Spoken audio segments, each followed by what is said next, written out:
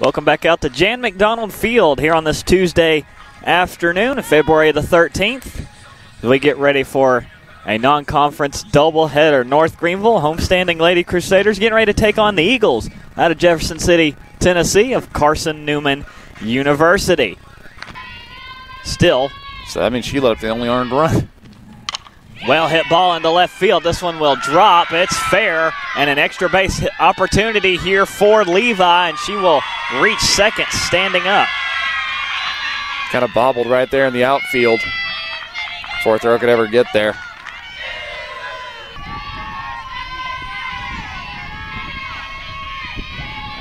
Coffrin on the edge of disaster as it's popped up into right center field. Who's going to call for it? DeBoer on the run. Grabs that one, and North Greenville with the excellent defensive stop. Just like you said, she has a chance to finally put a run on the board. Already has a single in the game.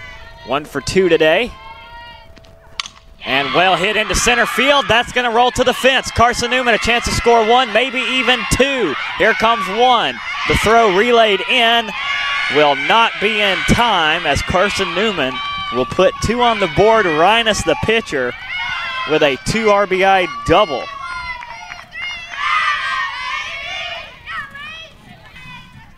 Game notes for this series today. All kinds of pitching awards pouring in for the Eagles staff as they will get a hit on her.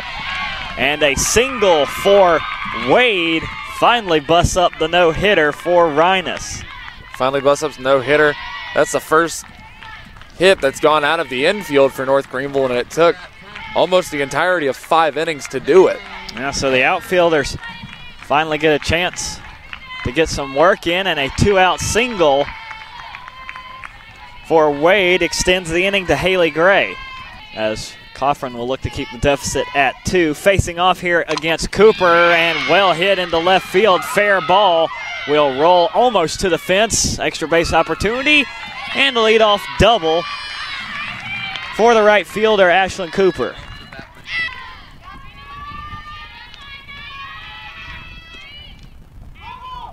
Ah, foul ball is called as Levi just barely catching a piece of it. And then appealed immediately back and says it was, it hit her, gave her the base. Runners more than likely going here on the payoff pitch from Coffrin. There they go, and it is strike three is called. And now down to the final strike. Griffin goes around, and Rhinus will strike out the side to close out game one for the Eagle win, three to nothing over North Greenville.